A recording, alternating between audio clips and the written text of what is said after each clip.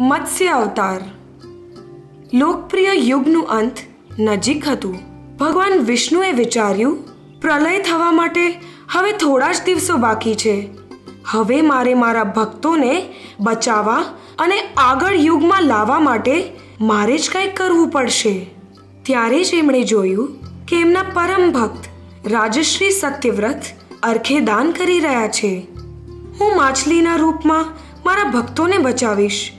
એ લોકો પ્રલયથી બચી જશે અને આગળના યુગમાં માનવીના રૂપમાં પ્રવેશ કરશે. જેવું સત્યવ્રતે અર્ખ દેવા માટે પાણી હાથમાં લીધું, ઓહ, માછલી, ગભરાતી નહીં, હું તને પાછું પાણીમાં નાખી દઈશ. માછલીએ કહ્યું, મારા પર તયા કરજો, રાજન, મને પાછું પાણીમાં નહીં મૂકતા.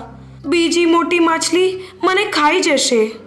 કઈ વાંધો નહીં, ડરતી નહીં હું તારી રક્ષા કરીશ. એમણે એ માછલીને કમંડલોમાં રાખી અને એને એમના આશ્રમ લઈ ગયા.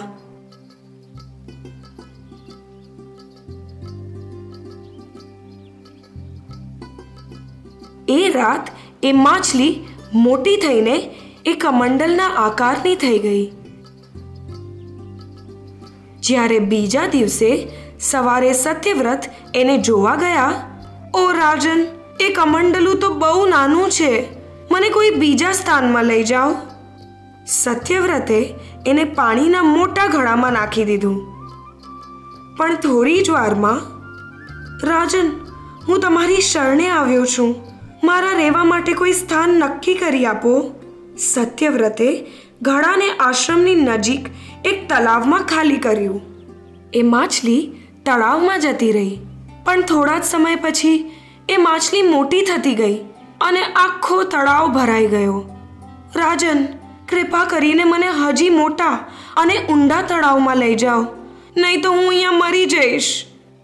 સત્યવ્રત એને એકથી એક તળાવમાં લઈ ગયા. મને હજી પાણીની જરૂર છે, રાજન.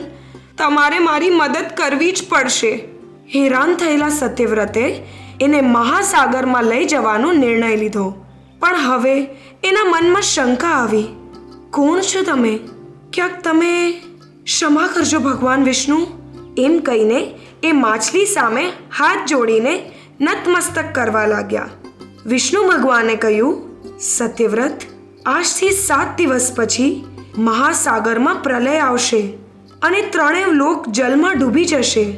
હું તારી માટે એક જહાજ મોકલીશ.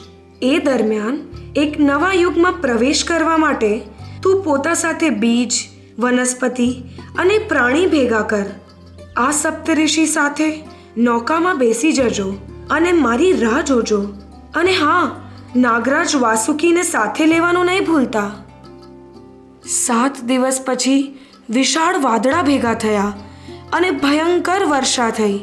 મહાસાગરની લહેરોએ વિશાળ રૂપ ધારણ કરી જમીનને અંદર લેવાનું પ્રારંભ કર્યું. ભગવાન વિષ્ણુની પ્રાર્થના કરો. એમણે વચન આપ્યું છે. એ આપણને બચાવવા જરૂર આવશે. જેવું ભગવાન વિષ્ણુએ કહ્યું હતું, સત્યવ્રત અને સપ્તઋષિ કિનારા પર રાહ જોઈ રહ્યા હતા. જુઓ, એ રહી આપણી જહાજ. જેવું ભગવાન વિષ્ણુએ વચન આપ્યું હતું, એવું જ. તૈયાર રહેજો, હા? જેવું એ જહાજ નજીક આવ્યું, સત્યવ્રત, એ સપ્તઋષિ અને અમુક ગણેલા ચૂણેલા પ્રાણીઓ અને વનસ્પતિઓને જહાજમાં પ્રવેશ કરવાનું કહ્યું. એ જહાજ મહાસાગરની લહેરોમાં ઉછલવા લાગ્યું. એ જ વખતે અચાનક એમણે જોયું કે એક મોટી માછલી એ લોકો તરફ જ આવી રહી છે. એના માથા પર એક સિંગ પણ છે. જલ્દી કરો વાસુકીની રસ્સી બનાવીને તમારી નૌકાને મારા સિંગથી બાંધી નાખો. અને ડરતા નહીં, હું તમારી સાથે જ છું. તમને સુરક્ષિત છો. એ જ સમયે ભગવાન વિષ્ણુએ સત્યવ્રત અને સપ્તઋષિને સર્વોચ્ચ સત્ય કીધું, જેને આપણે આપણા પુરાણો અનુસાર મત્સ્ય પુરાણના નામથી ઓળખીએ છીએ. આ જ રીતે ભગવાન વિષ્ણુએ પોતાના ભક્તોને પ્રલયથી બચાવ્યું, જેથી એ લોકો સર્વોચ્ચ જ્ઞાન આગળના યુગમાં લઈ જઈ શકે.